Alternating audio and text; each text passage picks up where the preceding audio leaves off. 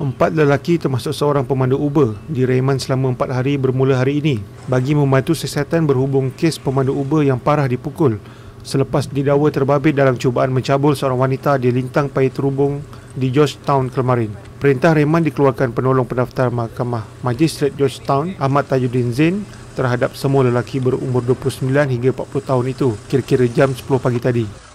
Dalam kejadian kira-kira jam 3.56 petang itu, pemandu Uber berkenaan yang mahu mengambil seorang wanita Vietnam di lintang payah terhubung tiba-tiba diserang dan dipukul oleh sekumpulan lelaki kerana didakwa mencabul wanita terbabit.